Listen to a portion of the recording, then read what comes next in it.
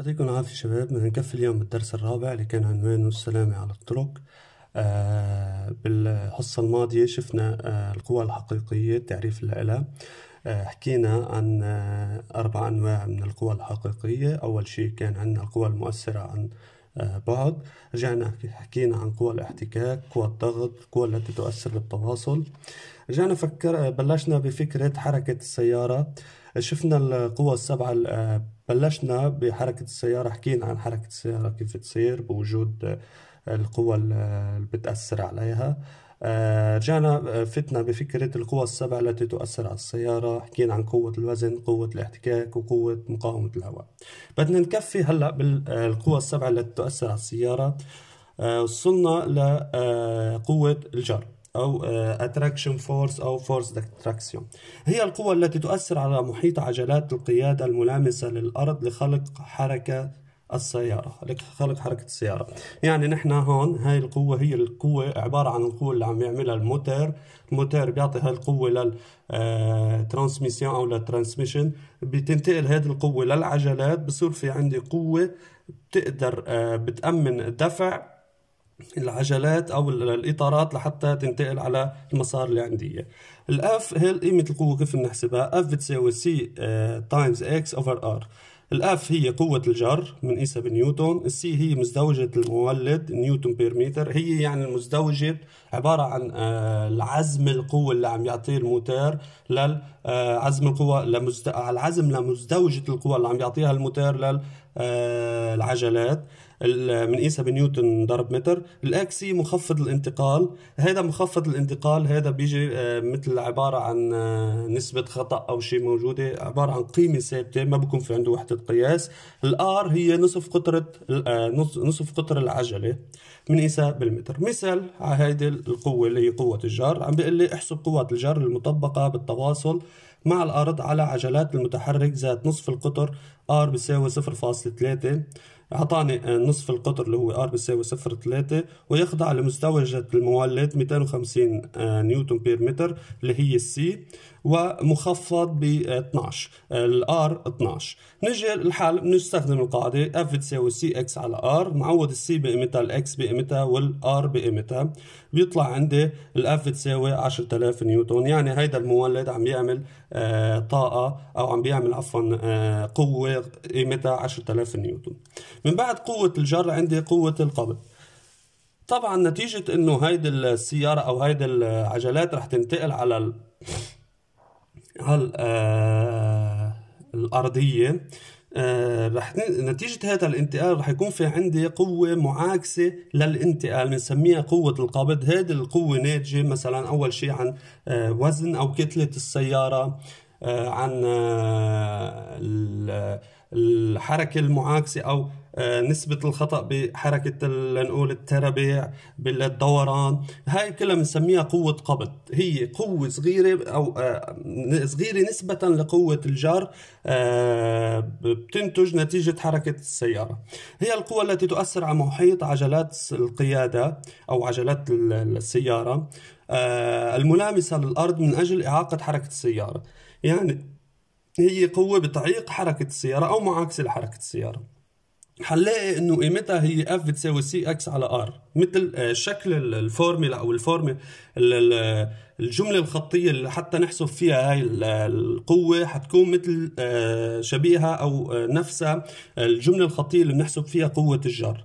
ال F هي قوة القبض. بينما هون حنلاقي ال C هي المزدوجة المعارضة للحركة. يعني هونيك هونيك كان في عندنا C هي مزدوجة المولد هي المزدوجة اللي عم بتعطي الدوران للعجلات. هون هاي المزدوجة آه، نتيجة بعض الأشياء الموجودة عندي أو الحديد أو شيء أو الاحتكاك اللي بصير بين الحديد وبين العجلات. بصير في عندي مزدوجة عم تكون معاكسة للمزدوجة الموجودة عندي إياها بنسميها C هي اللي رح نستعملها هون. وحدة القياس اللي لها نيوتن متر. X مضاعف الانتقال أو مخفض الانتقال نفس الشيء. كمان بدون وحدة قياس ال X حتكون هي عبارة عن قيمة ثابتة. هاي القيمة الثابتة بتتعلق بنوعية الحركة اللي عندي إياها أو بنوعية الحديد اللي عم نشتغل فيه أو نوعية مثلا الزيت المستخدم بقلب ال بقلب الرسورات إلى آخره. بس هي عبارة عن قيمة ثابتة. ال R هي نصف قطر العجلة. طيب هون كمان حنشوف مثال. عم بيقول بالمثال احسب قوة القبض التي تؤثر على عجلات ذات نصف قطر 0.3 متر. تتعارض بمزدوجة بمزدوجة ذات قيمة 30 نيوتن بالمتر 30 نيوتن متر وبتخفيض ذات قيمة 8 مع ال R 8 مع ال C 30 مع نصف القطر اللي هو ال R 0.3 ال X معي إياها 8 ال F بتساوي C ضرب ال X على R بعوض كل شيء بقيمته يعني 30 ضرب 8 على 0.3 بيطلع عندي قوة القبض 800 نيوتن. طبعا بكون قوة المولد أكبر منها. لا قوة القبض لحتى يتحرك عنا تتحرك عنا السيارة. هلا بدنا نكفي آه، ما نحكي عن القوة السادسة وهي قوة الكبح. هي قوة الكبح هي قوة مفتعلة أو آه، متحكم بها. بنقدر نحن نتحكم فيها آه، ونحن نفتعلها أو نوقفها اللي هي عبارة عن الفريم. يعني من خلال دعسة الفريم يا إذا دعسنا كبسنا كبسة الفريم أو دعسنا على دعسة الفريم بدها تخلق قوة الكبح. إذا شلنا إجرنا رح تتوقف. هي القوة التي تخفف من سرعة السيارة. الهدف منا لقوة الكبح هي التخفيف من سرعة السيارة أو إيقاف السيارة عند ضغط السائق على المكابح. بس يدعس على الفريم الفورميلا اللي لها أو الجملة الخطية اللي بتقدر من خلالها احسب قوة الكبح هي F بتساوي M ضرب آه نيو. هاي اسمها نيو. حرف لاتيني اسمه نيو. ال M هي كتلة السيارة اللي عندي إياها أو كتلة العربة اللي بكون عندي إياها. النيو هي آه، تباطؤ السيارة. يعني أنا التباطؤ اللي عم بعطيه من خلال الكبح لهي السيارة. آه، ال F هي قوة الكبح. ال F بنيوتن ال M بالكيلوغرام. النيو رح تكون بالمتر بس آه، بالثانية مربع. طيب. خلينا نشوف مثال على هاي القوة. عم بيقول لي مثال احسب قوة كبح السيارة التي تولد تباطؤا ذات قيمة 10 متر بالثانية. يعني هي قوة الكبح لازم يكون التباطؤ الناتج عنها 10 متر بالثانية. يعني النيو هي 10 متر بالثانية. إذا كانت كتلة السيارة 1500 كيلوغرام وال M هي 1500 كيلوغرام مع ال M ومع النيو بقدر احسب ال F أف بتساوي أم ضرب النيو بتساوي 1500 ضرب 10 بتطلع 15000 نيوتن. هي القوة يعني هاي عم تخف القوة عم نعمل قوة على السيارة. 15000 نيوتن لحتى تخف السرعة اللي لها أو لحتى عم حاول وقفها طيب هلأ التباطؤ كيف بنحسبه؟ من خلال المعادلات الزمنية اللي كنا ماخذينها نحن بالحركة المستقيمة المتغيرة التباطؤ آه، أو التسارع بنحسبه من خلال آه، إذا هون نحن بهمنا التباطؤ نيو بتساوي اللي هي التباطؤ ال A كانت قبل V square على 2 D ال V هي السرعة الابتدائية للكبح. يعني أنا قديش كانت سرعتي أول ما بلشت آه، فرمل أول ما دعست على الفريم مربع برفع square على 2 D ال D هي مسافة الكبح. يعني قديش أنا ضربت فريم قديش المسافة اللي كنت عم بدعس على الفريم فيها. على 2 D ال V السرعة الابتدائية للكبح مثل ما قلنا D مسافة الكبح. هاي لازم يكون بالمتر وهاي لازم يكون بالمتر بالثانية. هاي هون لازم يكون بالمتر وهون عندي متر بالثانية. طيب الوقت اللازم للتوقف. يعني أنا أو بسميه وقت الكبح. بس دعست على الفريم أخذت معي السيارة وقت ضل ماشية بترجع بتوقف. هيدا الوقت كيف بنحسبه؟ هو ال V على ال nu ال V هي السرعة الابتدائية يعني السرعة اللي بلشت ادعس فيها frein. ال nu هي التباطؤ اللي عم بيصير في عندي إياه. قديش بتاخد وقت بيجي بحسب ال V على ال nu بتطلع عندي الوقت اللازم لحتى توقف السيارة. طيب هلأ القوة الموجهة. أو القوة الموجهة أو قوة التوجيه. القوة الموجهة هي القوة مثلا أو القوة اللي بنستخدمها لحتى نحرف السيارة ونغير المسار اللي طلع عنا كوع بدنا نفتل الدركسيون. هيدي فتلة الدركسيون شو الترجمة اللي لها عبارة عن شو هي القوة اللي عم تصير في عندي لحتى أحرف السيارة؟ هاي بنسميها القوة الموجهة واللي هي القوة السابعة اللي عم تأثر على السيارة. هي كل قوة الضغط يعني. أنا بس لف دركسيون عم بعمل قوة ضغط لأنه عم حرك زيت. هيدا الزيت عم ينتقل للتربيعات أو على مكان محدد على آه، قطع محددة بالسيارة. الزيت بيعمل ضغط على الدواليب. شو بصير في عندي؟ والملامسة والإحتكاك. هاي الدواليب نتيجة الملامسة والإحتكاك بينه وبين الأرض وزائد الضغط اللي عم بيعملوه بدها تلتف بدها تنحرف يا شمال يا يمين. آه القادرة على حرف مسار الكتلة أو السيارة. كيف بنحسبها هاي؟ آه قوة القوة الموجهة؟ F بتساوي M V square على R. ال M ال F هي القوة الموجهة بالنيوتن. ال M هي كتلة العربة اللي عندي إياها بالكيلوغرام. V هي السرعة اللي بكون ماشي فيها متر بالثانية. ال R هي نصف قطر المسار. يعني أنا بس بدي أحرف السيارة ما بيجي بكون ماشي على مسار آه، جالس وبيجي بلف بلف الدركسيون.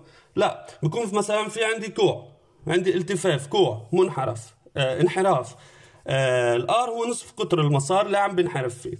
مثال احسب قوة التوجيه التي تضع سيارة ذات كتلة 1500 كيلو جرام على مسار ذات نصف قطر 100 متر. يعني نصف قطر الكوع اللي عندي إياه 100 متر.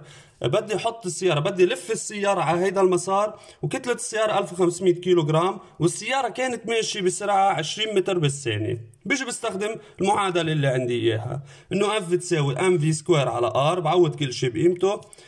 ال M 1500 ال V square هي 20 مربع على ال R اللي هي 100 يطلع عندي 6000 نيوتن. طيب هلأ مثل ما شفنا نحن إنه بالاخر ثلاث قوى شفناها واربع قوى عندنا قوة الجر الجار قوة القبض قوة الكبح وقوة الموجه. القوة آه، الموجهة أو آه، قوة التوجيه. كلهم عم بيتعلقوا بالإطارات تعول السيارة أو بدواليب السيارة. يعني آه، كل هول القوى بيلزم لهم احتكاك مناسب بده يكون في عندي احتكاك جيد ومناسب بين دواليب السيارة والأرضية اللي عندي إياها. لازم يكون في عندي دواليب مناسبة للسياره للسيارة وللأرضية. من هون نحن حنروح على آه، تأثير العجلات على حركة السيارة. كيف بتأثر العجلات أو الإطارات على حركة السيارة؟ واحد كتلة السطح. طيب كتلة السطح شو هي؟ اختيار الإطارات يترافق مع استعمالات محددة تتعلق بقيمة تسمى كتلة السطح يعني أنا حسب السيارة هاي بدي سوقها وين بدي سوقها أو آه، شو كتلة السيارة وكذا ونوعيه آه، السيارة اللي عندي إياها. بدي أروح أنقي لها إطارات. لحتى أنقي لها إطارات بدي التفت لشغلة اسمها كتله السطح أو الكتلة السطحية. هي الكتلة السطحية شو هي هي نسبة كتلة العربة التي تكبح أو آه، تعدل مسار حركتها مع سطح الاحتكاك. بين الأرض والإطارات. يعني هذه السيارة عندها كتلة محددة. بدي أروح شوف الكتلة السطحية. يعني قديش الكتلة بدها تكون مع مسافة الاحتكاك بين آه، بين كتلة السيارة أو بين الإطارات تبع السيارة أو بين السيارة وبين الأرضية. مثلا عندي كاميون كبر له الدواليب اللي له. بعرض له الدواليب كبرت مساحة الاحتكاك. بالنسبة للكتلة اللي له. عندي سيارة بصغرها شوي الدواليب بمعدل وسطي باخذ لها معدل وسطي بس أصغر من الكاميون. لا لأنه الكاميون عنده كتلة كبيرة بهذا الشكل. تقاس هذه القيمة بالكيلوغرام بالسنتيمتر مربع. يعني هي عبارة عن الكتلة على مساحة الاحتكاك بين العربة اللي عندي إياها وبين الأرضية. طيب. عم بيقول لي هون هي نسبة كتلة العربة التي تكبح أو تعدل مسار حركتها مع سطح الاحتكاك بين الأرض والإطارات. تقاس هذه القيمة بالكيلوغرام بالسنتيمتر مربع. كل ما كانت قيمة كتلة السطح أكبر يعني هاي كتلة السطح كل ما كانت أو الكتلة السطحية كل ما كانت قيمتها أكبر كل ما كانت القدرة على الكبح والقيادة أسهل. كل ما كانت أكبر بتتحسن عند القدرة على الكبح يعني بال frein وبال لأنه زيد رح تزيد أكيد مساحة الاحتكاك أو الكتلة. الكتلة رح تبقى ثابتة إذا قلنا سيارة بس زدت مساحة الاحتكاك طبعا بما يتناسب مع الهيكل تاع السيارة. آه، بتصير القدرة على الكبح إنه الفريم يوقف السيارة والقيادة إنه اتحكم بالدركسيون أفضل. الالتصاق وآليته. من هون رح نروح على الالتصاق وآليته. طبعا هاي السيارة اللي بدي سوقها بكون جامدة ماسكة على الطريق آه لازقة على الطريق. ما بدها تكون عندي سيارة عم قيسها بالهواء أو امشي مثلا 80 كيلومتر بالساعة الاقي السيارة عم تطير. لا هون ما نروح نلتفت لهي الشغلة. هذا الالتصاق وآليته شو اللي بأمنه؟ أو من خلال شو؟ آه شو اللي بياثر عليه؟ طيب. يعرف الالتصاق بأنه نوعية الاتصال بين الأرضية وإطارات العجلات المستعملة. يعني هذا الالتصاق اللي بأمنه أو هو النوعية عبارة عن نوعية بين الإطارات اللي عم نستعملهم يعني القوم تاع الدواليب وال الأرضية اللي عم نمشي عليها. طبعا رح يتأثر بنوعية القوم بالنقشة تاع القوم بالمواد اللي عم نستخدمها بالقوم وبين الأرض اللي عم نمشي عليها. رح يتأثر بهود العاملين. أول شغلة عندنا إياها يتعلق الالتصاق بثلاث آليات. ثلاث آليات عندنا. أول آلية الوزن المطروح على العجلات. يعني هيدا الوزن المطروح على العجلات. أنا شو عم سوق؟ كاميون سيارة عم سوق آه، موتوسيك حسب هذا حسب العربة اللي عندي إياها والوزن اللي لها بتأثر على الحركة اللي عندي إياها أو على التلاصق بين الأرض وبين العجلات. هي القوة العمودية التي تؤمن الاتصال بين العجلات والأرض لأنه دون هذا الاتصال الحركة مستحيلة. يعني تخيل ما نتخيل شغلة إنه أنا عم سوق لنقول سيارة. هاي السيارة ما في قوة وزن عليها. ما عم تأثر عليها قوة الوزن. راح تصير هاي السيارة تمشي بالهواء. يعني راح تطير بالهواء. ما راح تبطل لازقه ما في في قوة التصاق أو في التصاق بينه وبين الأرض. يعني هيدا الالتصاق اللي بيأمنه هو قوة الوزن أو قوة الجاذبيه اللي عم تعملها الأرض على السياره بصير نتيجة هاي القوة بصير في عندي التصاق بين الإطارات أو بين العجلات وبين الأرضية اللي عم نمشي عليها. نقش الإطارات هي قدرة الإطارات على التشكل للتناسب مع الأرضية وذلك لتأمين تماسك العجلات على الأرضية ومنعها من الانزلاق. نقش الإطارات. يعني أنا أوقات الإطار على طول بكون في عنده نقش محدد. هذا النقش لازم يكون بارز. بنلاقي أوقات بس يصير هيدا يروح هيدا النقش اللي عنا إياه يدوب أو ينمحي بصير الدواليب لازم يتغيروا لأنه عم بينعدم التماسك بين الأرض أو بين الدواليب وبين الأرض. رح يصير في عندي انزلاق. عشان هيك نقش الإطارات هو شيء مهم بالنسبة للإطارات. فهون آه يعني نحكي عن نقش الإطارات كيف بيأثر نقش الإطارات؟ ممكن نقش الإطارات إنه يغير أو يتشكل بشكل مناسب مع الأرضية اللي عم نمشي عليها بإنه إنه يصير في تماسك بين العجلة وبين أو بين الإطار الخارجي آه، وبين الأرض اللي عم نمشي عليها بحسب شكل الأرض اللي عم نمشيها. طيب آه هلأ وبيمنع الانزلاق. العضوية العضوية هو عبارة عن نوعية المواد المصنوعة منها الإطارات. يعني أوقات بيكون مو يعني قدرة هاي النوعية إنه تتداخل جزيئات اللي لها تتداخل مع جزيئات جزيئات الأرضية اللي عم نمشي عليها. هي القدرة على التداخل بين جزيئات الإطار وجزيئات أرضية الانتقال. والتي تؤمن تؤمن التماسك بين العجلات والأرضية وتخفف من إصدار الضجيج خلال الحركة. واحدة من يعني بتأمن التماسك وبتخفف من إصدار الضجيج آه هون مثل ما قلنا إنه هاي الشغلة بتختص آه بتتعلق بنوعية المادة المصنوع منها الإطار. يعني آه ممكن يكون مصنوع من مواد قابلة للتداخل أو قابلة للاندماج مع جزيئات الأرضية اللي عم نمشي عليها بشكل سريع وبشكل مستمر عندها قدرة على التشكل والاندماج المستمر مع تغير شو ما كيف ما تغير آه، آه، شكل المسار أو نوعية التربة أو نوعية المسار اللي عندي إياه. طيب حنروح من هون من فكرة الالتصاق وآليته على شروط الالتصاق شروط الالتصاق عندي ثلاث شروط للالتصاق أول شيء هوية الطريق. يعني الطريق اللي عم نمشي عليه صعودا نزولا انحدار إيجابي أو سلبي. هوية الطريق انحدار إيجابي أو سلبي صعودا نزولا. يعني هاي الطريق الالتصاق كيف لازم يكون؟ مثلا إذا كنت عم بطلع طلوع هيدا إذا كنت عم بطلع طلوع غير إذا كنت عم بنزل نزول لازم يتناسب الخيار آه، اللي عم بستخدمه للإطارات. يعني الدولاب اللي عم نجيبهم أو الجوم تاع الدولاب اللي عم نجيبهم لازم يتناسبوا مع هودي مع هيدا الشرط. يعني هوية الطريق. إذا كنت طالع أو نازل أو عندي انحدار إيجابي أو سلبي مع هول الشغلات لازم يتناسب يقدر يتناسب مع الكل مع بعض. مش بيزبط على الصعودا ما بيزبط على النزولا ما بيمشي حاله لا بده يزبط على اثنين. طيب نوعية الأرضية. عندي نوعيات من الأرضية. ممكن يكون عندي أرضية تراب. يمكن يكون آه الأرضية عبارة عن باسكورس. يمكن إسمنت باطون أو إسفلت زفت. الزفت ممكن يكون في أكثر من نوع زفت ناعم وزفت خشن. هذا الالتصاق لازم يتناسب مع كل نوعيات الأرضية أو أغلب نوعيات الأرضية اللي بكون عندي إياها. فالعجلات لازم تأمن هيدا الشرط أو الجوم تاع الدولاب لازم يأمن هيدا الشرط. طيب جيم كل ما يمكن أن يتواجد بين الإطارات والأرضية من شوائب ومواد مثل المياه الغبار الحصى آه، أوراق شجر.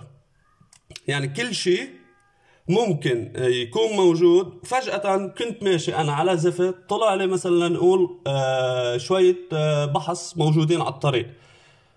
مش نتيجة هالبحث بدها تدهور فيه السيارة أو بده ينفخت الدولاب أو بدها توقف السيارة ما عادش تقدر تمشي أو بدها يصير في انزلاق. لا بدنا نحافظ على الالتصاق من خلال طبعا الأشياء اللي قلناها فوق إنه النوعية تاعية القوم أو تاع الإطارات اللي عندي إياها والمواصفات اللي لها من خلال النقش والعضوية اللي بيكونوا موجودين. اللي بتتميز فيهم. هلا آه، هيدا الالتصاق رح يتميز بمعامل خاص فيه كل ما كان كبير أكبر هيدا المعامل.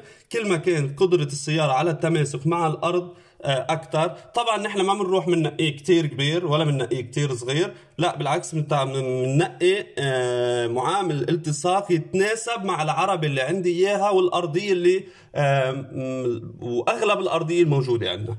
هو النسبة بين قوتين. هو آه بيكون تناسب بين قوتين. قوة الكبح القدرة آه على الفرملة وقوة وزن السيارة. وقوة وزن السيارة التناسب بيناتهم. بيعطيني معامل الالتصاق. عندي إياها الجملة الخطية بتمثل هيدا المعامل. هو mu equal mu equal a على g ال mu هي معامل الالتصاق دون وحدة قياس. ما إلى وحدة قياس. ال a هي التسارع أو التباطؤ اللي بكون في عندي إياه. يعني وقت تكون عم بدعس frein أو وقت تكون عم بدعس بنزين عم زيد السرعة بسمي إذا أنا إذا عم بدعس بنزين عم زيد السرعة اسمه تسارع إذا عم بدعس frein عم خفف السرعة اسمه تباطؤ. بالمتر بالثانية مربع. الجي هو ثابت الجاذبية هو ثابت خاص بالجاذبية الموجودة عندنا على الأرض. جي بتساوي له قيمة ثابتة 9.8 متر بالثانية مربع. طيب مثال كيف بدنا نحسبه هيدا؟ احسب معامل الالتصاق الذي يؤمن تسارع ذات قيمة 10 متر بالثانية على مسطح أفقي. كيف بنحسبه؟ ال mu التسارع معي اللي هو 10 على ال g اللي هي ال gravity ال 9.8 بعوض كل شيء بقيمته بيطلع عندي تقريبا 1.02 هو أفضل شيء يكون 1 1.02 شوية أرقام صغيرة ما بتهمني الصفر 2 بيطلع يعني هو متناسب مع آه تقريبا مناسب آه معامل الالتصاق عندي مناسب.